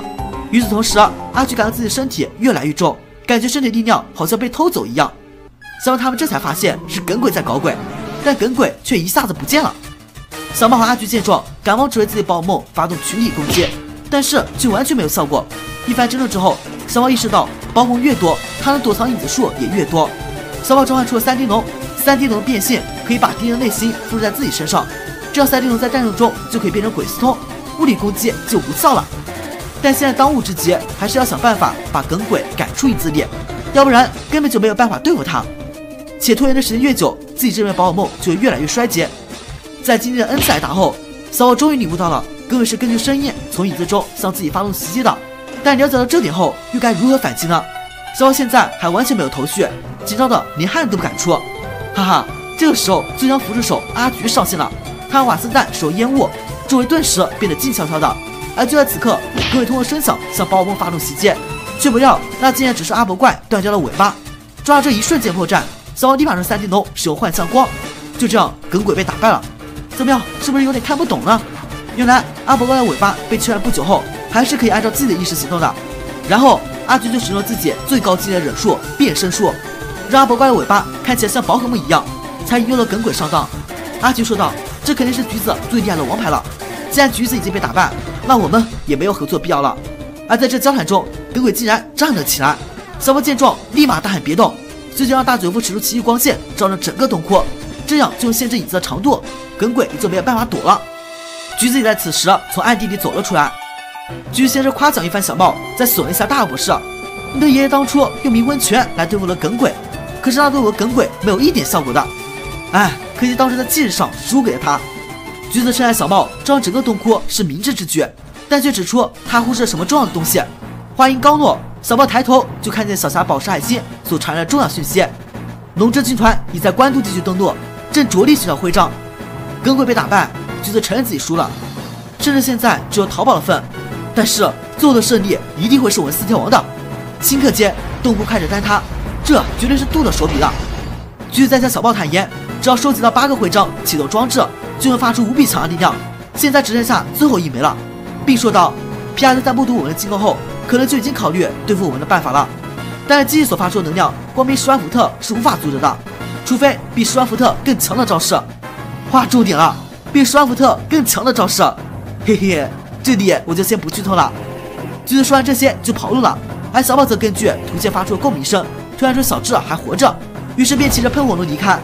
本期故事到此结束。今天讲的是神条特别篇黄片的最后对决，四条王中个人实力最强杜与小黄夏伯之间的决战。这要先说一下，杜与小黄同是长蛮森林的人，用同样可以治愈精灵的能力，两个人初衷都是治愈精灵、保护精灵，但却走向背道而驰的道路。小王在小智影响下，更希望与精灵们和谐相处，甚至不希望精灵进化成为战斗的工具。而杜则是童年亲眼看到人类自残忍对待精灵，开始深恶痛绝人类，想集结八个徽章召唤出洛奇亚，消灭人类，缔造具有精灵的理想国度。与杜的决战开始之前，我们先进行一段前情回顾。火箭队精灵干部与小黄、小蓝等训练家史无前例的强强合作，八个人分成四组，从深红岛出发，四组分别对战实力强劲的四大天王。纳兹让胡帝给每人分发汤勺，可以让组的两个人互相读懂彼此的想法。经过商议后，小黄与萨博一组，小猫与阿菊一组，小蓝与纳兹一组。马志士本来应该是和小智一组的，但此刻只能与郑辉作伴。四人从深红岛出发，通往四天王所在不同根据点。小猫与阿菊面对是四天王的橘子，小兰与纳兹面对是冰系高手柯拉，马志是带着凑人数郑辉面对大块头之霸。在前期与四天王的队员中，顶尖训练家与火箭的组合由于不了解四天王的实力，面临着巨大的瓶颈，节节败退。但好在这些顶尖训练家战斗质量极高，同组两个人还可以利用勺子同享意念，让彼此战斗方法结合，配合默契。阿菊大破怪利用尾巴的再生能力，还用精灵球用精灵叼着解麻药。最终救下被麻痹双人的小帽，小帽重回战场，合力击败了橘子。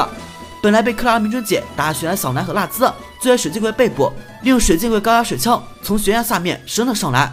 想利用百面怪伪装手段的假象，在克拉轻敌准备转身离去的时候，变成摔断假臂的百面怪突发袭击，把克拉击败。而本来必败马志士等到了小智，小智在第一次与制霸队员中就已经施展出了制霸实力。小智利用可以自由改变属性的一步，凭借熟练的战斗技巧。之霸最终被小智击败，至此四大天王中的三个都已经被打倒，现在只剩下杜一人。此时小黄与夏波准备前往杜所在地方，在湍急的水流冲击下，小黄的帽子被冲掉。一路上，对于男生想要射人他暴露性别，图鉴也因为水流被冲远。科学怪人夏波感到一脸不可思议，一个小女生竟然能够披荆斩棘，把四天王阴谋揭露。两人现在所处的位置是深红岛的深处苏芳岛，在夏博判断下，认为此时两人已经陷入僵局。这边山洞说不定只有一个进去地方，而没有出口。两个人只有打败杜，才有机会从这个构造奇特的地方走出去。两个人朝着中午洞越往深处走，里面的光线越暗。夏伯用卡利欧火焰制造一个火把，利用火焰的微光，领着小黄慢慢前进。此时近处传来了狂妄的笑声。夏伯与小黄无需思考，便知道说话的人正是杜。在杜的口中，林比、华南、彩虹市即将灭亡，这种浅红长盘马上都会被攻陷。城中的所有人都会被他消灭掉，他马上就要实现经历理想国度的愿望了。小王利用皮卡丘释放闪光，照亮整个中午洞。小王与夏波终于看见他们的对手杜。杜正一脸不屑的面对一个老头加一个小女孩的奇怪组合。作为飞行系高手，杜已经觉得自己胜券在握了。本来想着为小智报仇，小黄想奋勇而上，却被夏波拦了下来。夏波通过狐狸的勺子把自己想法与小黄分享出去。他的想法是一个人与杜展开战斗，试探杜的实力。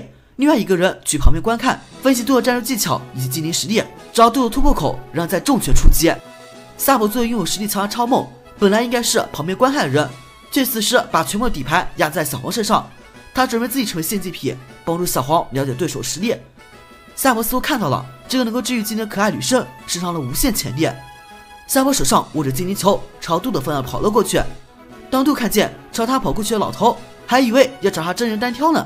杜立刻让化石一龙发动破坏死光，没有顾及什么训练家的职业操守，而是直接让破坏死光瞄准夏伯与小红的本体。在小红大声叫出夏伯名字的时候，杜以为战斗就这样结束了。可令杜意外的是，在一阵破碎的强光下，被誉为最强劲的超梦出现了。这是夏伯手上唯一的王牌，是用梦幻的基因制造的最强基因。杜并没有因为超梦出场而害怕，反倒是兴奋了起来。他吐露道：“自己早前就已经知道火箭队手上拥有这只精灵了。”认识人类靠小聪明的作品，可能之霸与杜沟通过战斗方式，与站在大岩上的之霸一样，杜则站在化石异龙背部盘旋升天。化石异龙升天那一刻，小雨夏伯周边的山洞好像有些崩塌。杜飞让天空利用视野盲区，让化石异龙利用超音波攻击夏伯与小黄。超梦与萨博姿势一样的使用技能屏障，召唤出了光墙，抵挡住了化石异龙超音波。萨博开始安抚有些害怕的小黄，并给小黄吐露到一个关键信息，那就是要看清楚杜的实力。然后就要看萨博身体能够坚持多久，给小红带来多少关于毒的关键信息了。超梦撑起光盾腾空而去，瞬间捏爆自己制造的光盾，释放出巨大能量，把杜与化石一弩震飞。看到情况不妙，杜迅速召唤出了两只哈克农，利用技能呼风唤雷，改变天气，制造出对自己有战斗优势的局面。两只哈克龙相辅相成，瞬间掀起了大风与闪电，配合上高速移动，围绕在夏伯与小红身边。此时的超梦在原地急速旋转，开始制造出龙卷风。想把两只哈克龙吸引进龙卷风中间，只要哈克龙被吸入到漩涡中央，他们必定会被漩涡中央强大引力粉碎。杜看到如此情形，并没有慌张起来，反而分析超梦招式，认为超梦这招像流沙漩涡，慢慢的把金年吸漩涡中央而粉碎。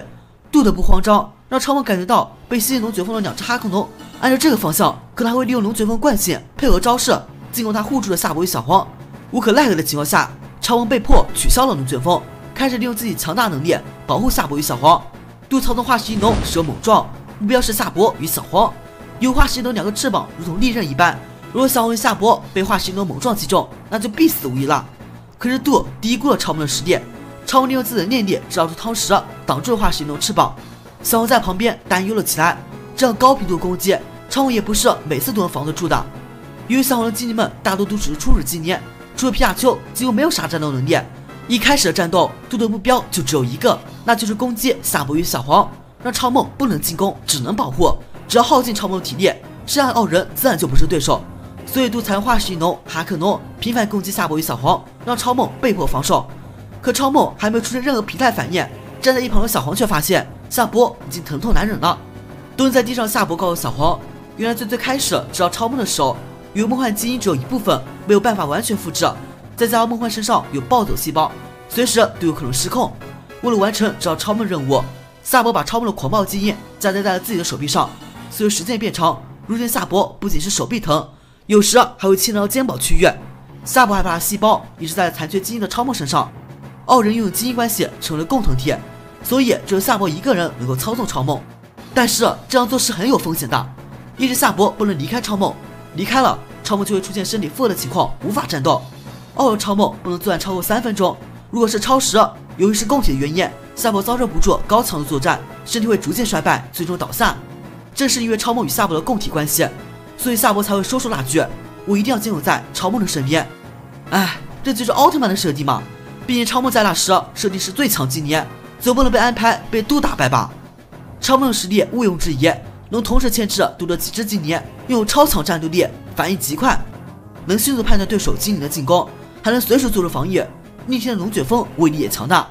可是只有几分钟登场机会的超梦，面对的可是杜手上强大多只完全进化体的精灵。若超梦失去战斗能力，就只剩下小黄一个人，杜自然就能轻松解决了。体力不支的夏伯面对这种情况，用狐狸勺子一时共享，告诉小黄他现在的想法。夏伯想利用超梦能够自由伸缩汤匙，把杜身上剩余的两个精灵球按钮粉碎，让杜召唤不出他的两只王牌精灵快龙和暴力龙。而哈克与化石龙因为超梦的战斗血量已经消耗了不少，只要暴力龙与快龙召唤不出来，小黄手上还有皮卡丘，这样战斗还是有可能赢的。小黄知道夏伯意图后，迅速召唤出皮卡丘分散杜的注意力，然后夏伯用最后一点体力，只是超梦把汤匙形状变成了叉子，飞速冲到杜的旁边，精准的攻击杜身上精灵球开关。刹那之间，杜还没反应过来，精灵球全部被破坏，超梦完成了任务。夏伯看了如此情形，喊着：“我们赢了！”但转眼之间，体力透支，便倒下了。此时，看着杜被破坏精灵球，小黄也开始庆祝起来，准备开始最后的对决。可是，还没等小黄让皮卡丘使完十万伏特，砸在化石翼龙与哈克龙身上，杜就开始灭笑起来了。他拾起被破坏精灵球，然后摔在地面上。原来精灵球里全是空壳，随之而来的是从地底下速度窜出来的暴龙、快龙。超梦气愤的拿着汤匙，想拼尽全力与其战斗，可此时已经使用巨大能量。他如果不回到精灵球里，萨博就会有生命危险。为了顾全大局，小黄迅速打开精灵球，把超梦输入到精灵球之中。比起杜强大龙系军团，更让小黄震惊的是杜恐怖的预测战斗能力。他能把萨博的动机尽收眼底，早早就把暴龙与快龙召唤出来。而且，就算是暴龙与快龙没有被召唤出来，杜也是必胜的，因为他拥有与小黄相同的战斗能力，能治愈精灵。两只哈克龙羽化石龙在杜的治愈能力之下，马上就恢复到了满血状态。小黄仿佛中看到实力上巨大沟壑。此时他除了皮卡丘，手里用的精灵全是初阶形态。这几只精灵加一起的体积，还没有杜身边随便一只龙系精灵的身躯大。而且小黄面对的可不是一条龙，要面对的可是杜身后的五只强大的完全体龙系精灵。杜看着小黄身边这群呆呆萌萌的宝可梦，不由得被逗笑了。这样的战斗好像是耍儿戏一样。作为同样拥有治愈能力的小黄与杜之间的决战一触即发。道士说道。小黄与夏伯在最终舞台遇到飞行器高手杜，在超梦的帮助下，短时间内暂时能和杜打得不相上下。然而因为夏伯与超梦是一体的，超梦只能活动三分钟，所以在这种限制下，随着夏伯的倒地，现在能阻止杜的就只有在场的小黄了。在实力的巨大沟壑面前，对于现在小黄而言，这场根本不可能获胜的战斗。但为了拯救人类，小黄毅然迈出了第一步。我们先来看一下小黄这边阵容，几乎除了皮卡丘之外，没有什么特别能战斗的宝可梦。但这并不是因为经验值不够，而是因为小黄每次在他们进化前按下 B 键，阻止了他们的进化。此时，杜骑着快龙已经飞向火山口，而小黄则站在火山口上方边缘的地面，熔浆在下面的火山口不断沸腾着。原来，杜早让快龙与暴龙藏在地下，是为了让地壳运动为火山喷火而蓄力。快龙使出技能静灭，劈裂小黄附近的岩石，劈裂的碎石里滚烫岩浆翻腾而出，烫伤了小黄。此时的小黄想到，夏伯与小茂都曾让宝可梦训练过反弹火球的训练，一个优秀的训练家绝不能遇到危险而气馁。小黄自己的全部精力向快龙攻击，可是这对于快龙来说就是老痒痒，快龙一个尾巴就把小黄的这些精力全部甩飞了。既然打不赢，小王就使出所有动漫主角都会的一招嘴遁技能。小王直言，杜的做法完全就是错误的。虽然人类确实杀害过宝可梦，但这完全不能成为要灭绝人类的理由。米妮都是受到长寒森林恩惠的孩子，在伊利夫人的环节中，杜却显得连小女孩都不如。小王最后一句话更是降维打击：明明能够治愈纪念，治愈不就行了？为什么要搞破坏？这下顿着嘴的杜无话可说，他让快龙发动大自爆。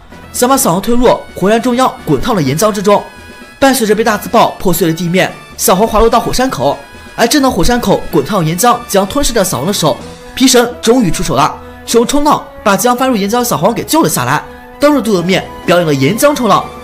可是此时站地点都不稳的小黄与皮卡丘不敢有所动作，周围岩浆翻滚，稍有不慎就会烫伤身体。而杜由于有快龙的帮助，可以飞在天上，随时对小黄发起攻击。站天上的杜操纵快龙，对小黄皮卡丘接二连三的使出几发破坏死光，皮卡丘跟着应战，用十万伏特予以回击。为了使战斗快速结束，杜决定再度召唤哈克龙。可能是两位长白山老乡惺惺相惜，拥有强大实力的杜竟然说小黄是个强大对手。但就现在这个局面来说，是真的如此。小黄在之前的许多战斗中都展现出了超高的战斗智商，虽然精灵实力弱，但不妨碍他思考靠其他方式破解僵局。在杜决定用哈克龙干掉他的时候。小黄突然想到夏伯之前对他说的话，叫他好好观看超梦的战斗。让我回顾一下超梦与哈克龙战斗情节。超梦与哈克龙的那场对决中，本来超梦都想好了对策，可为了顾及夏伯与小黄的生命安全，超梦使用龙卷风，在即将要消灭掉哈克龙的时候却取消掉了。此时小黄观察四周的岩浆与火山口上方的舵，他突然有了个大胆的想法。小黄指着皮卡丘使用冲浪，快速 在舵所处的范围之内，沿着火山口的岩浆画圈滑行。杜一开始以为小黄只是想要逃跑，然而当岩浆龙卷风形成的瞬间，杜才意识到了风险。一阵风波过去，小黄以为暂时击退杜，他环顾四周，周围岩浆在冒泡，如果再继续待下去，他有可能会有危险。此时，战悬崖绿毛虫吐出蚕丝，小黄的几只小精灵合力把他和皮卡丘从岩浆中心拉了上来。然而，正当小黄与皮卡丘转身跑了片刻，狰狞的笑容从他身后传出：“是的，杜根本就毫发无伤。”原来他急召唤出了暴龙与哈克龙配合使用泡沫光线，制造出巨大泡沫包裹住杜，所以才没有受到熔浆的吞噬。杜只为暴龙使用泡沫光线，然而这些泡沫居然是透明的，小王看不清楚攻击，自然就被打伤了。还有绿毛虫吐出蚕丝帮小王包扎，这绿毛虫简直是这个队伍里的随队医生啊！小王凭借聪明的头脑，立马猜测，只有利用太阳光三原色的原理，让泡沫变为透明的。为应付这透明的泡泡，小王急中生智，想出了好对策。他用绿毛虫吐丝形成网线，当透明泡泡触碰到网线的时候，拉达敏锐的胡须就可以感受到其震动。再加上橘兽在绿毛虫吐的丝上沾了水滴，皮卡丘的电更加容易传导。最后派的嘟嘟承担着伙伴一切，对杜使出撞击。杜此刻也意识到这是圈套，直言战术不错，但是这攻击力度根本就伤不到我，可悲呀！你们的力量太弱小了。就在杜打算下死手的时候，一道身影抱住了小黄。小黄在弥留之际感到有人在帮他，但还是说道：“若不是长盘的训练家，是打败不了小杜的。别担心，我也是长盘的训练家。”我的板木老大闪亮登场。皮卡丘看到板木的到来，突然有些激动，因为毕竟有过节嘛。还有小黄急控制住了皮卡丘，但也不禁产生疑问：他到底是不是自己人啊？板木老大朝杜伸出手指，轻轻的勾起，自信从容的笑容挑衅着杜，但杜也不是好对付的。立马就要使出透明的泡沫光线。小王见状赶紧提醒，但白龙老大却一点都不慌，他召唤出铁甲暴流，掀起地面的沙尘，让泡沫现形，然后在召唤出泥多后，将泡沫全部打碎。随后在大招比拼中，白木将自己王牌大阵风的精灵球丢在杜的身边，精灵球刹那间打开，大阵风飞速使出绝招双针。三下五除二就将杜给捆绑了，小王都不禁感叹板木的强大。板木也直言，虽然自己是地面系的馆主，对地面系之外的其他宝可梦都不是很擅长，但这只大阵风是除外的，这是从长盘森林里训练出来的最强大阵风。怎么样？你刚说力量不足，那我的大阵风怎么样呢？此时，板木让大阵风的刺对准杜的脖子，一副胜券在握的样子。从杜的话中，小王此时才得知眼前这个男人。就是长盘道馆馆主，也就是曾经破坏过长盘森林的人。正当板木要处决杜的时候，板木身上徽章突然亮起强光，杜的阴谋终于得逞了。回顾之前的剧情，杜想要集齐八枚徽章，召唤出洛奇亚，毁灭整个大陆，帮他制造理想精灵国。而此时的板木就是最后一个徽章持有者。现在大功告成，天一亮，这座岛的正上空就有梦幻的宝物出现。杜奇化石一龙飞向天空，没有顾及自己快乐状态。由于之前战斗，他早就已经疲惫不堪了，但仍阻挡在小黄的面前。而杜则一心想看洛奇亚出场。不过，这真的是洛奇亚吗？怎么感觉有点怪呢？小黄很气愤，这可是为杜立下赫赫战功的快龙啊！他竟然不管不顾。挨从快龙的身上，小黄感受到了快龙对杜的崇拜。杜是要完成他们这些被人类伤害的保姆的愿望，所以才拼尽全力。但小黄却大声的喊道：“为此想被所有的人类是绝对不对的。”他来到杜的面前，此时他已经没有了图鉴，即使有，他也不会再去取消了。小黄所有的精灵都感受到了小黄的心意，为了自己热爱的宝可梦世界，为了全人类，小黄手上五只精灵全部进化。这一件事本来要进化成龙岩，必须要同时进化，而这里竟然就直接进化了，而且绿毛虫还连续进化了两次，只是为了让小黄飞上天和杜正面对决。此时，小黄这边的队伍已经完成了蜕变，分别是多次狙击手龙岩、拉达。八大湖和皮卡丘，杜自然是原来那些，一场大战一触即发。此时夏伯也醒了过来，小智与小南、小豹他们也顺利汇合。他们都看天空上骑着八大湖的小黄，小智发现地面上还存八大湖蜕变后留下蚕丝，蚕丝连接的正是天空的八大湖与小黄。最后大来的训练家召唤出了自己的最强精灵，把所有精灵力量集合，研制了蚕丝传输给小黄。长安森林赐予小黄守卫大家力量。此时，所有训练家的期望、命运、能量都会在小黄的身上。这样说，长盘森林维护了孩子们之间的宿命对决，那就让这位小女孩来收尾吧。皮卡丘接受精灵们的力量，使用了最强技能百万伏特，在这样下，都被击败了。至此，关东地区四大天王全部被打败。另一边，白王老大沿途走过道路上，居然绽开一朵花。原来，用治愈能力的小黄，最后改变了徽章的力量，治愈了这硝烟弥漫、野草丛生的深红岛。潇洒百物老大看到这些绽开的花，本来还想感慨一番，最后却说：“这些对于我都无所谓。”扬长而去。火箭的精英干部们也碰到百木老大。正当商业合着重建火箭的时候，百木希望纳兹他们回到原来的道馆，自己还想继续一个人旅行。这八枚徽章代表八个道馆训练家初衷，他每个人都曾深爱着精灵，想这份力量成为这世界治愈的根源，用治愈的力量温暖着曾经受到伤害的野生精灵们。这件事。在徽章力量下，西北到岩石工业废墟开始重组、拼接、复苏，整个世界开始变好起来了呢。故事的最后，小王晕倒在小智怀里。当醒来后，看到皮卡丘跟小智拥抱在一起，这才反应过来。是啊，皮卡丘本来就是小智宝梦啊。然而最后，小智却说道：“皮卡丘看起来和你更亲近一些，并将皮卡丘送给小黄。这我绝对接受不了的。皮卡丘只能是小智的。”然而小智最后又说。跟着大家一起生活吧，我呵呵了。只有黄片以治愈为主题，把最后如何治愈世界选择权交给两位长盘训练家的宿命对决上。杜一辈子都在治愈童年时所遇见的痛苦，他拥有长盘森林赐予他的治愈能力，却没办法治愈自己的童年遭遇，没办法治愈被污染的精灵故土。成长后没办法治愈自己畸形的执念，从而放弃自己。他不仅没有保护精灵，反而把宝梦作为自己的战斗工具。为其谬误的理想而堆积罪过，而小黄则心怀美好，从不把精灵当成工具，甚至不想让精灵进化。那么多优秀训练家把希冀、梦想、力量都压在他的身上，因为他所治愈的是受伤的纪年，让他们知道有可爱的人类在温暖着他们，治愈着他们。黄片也用结局证明了什么是正确的治愈，借助徽章力量重新复苏被人类工业所破坏的精灵家园，激励人类要与自然和谐共处，为治愈的黄片画上圆满的句号。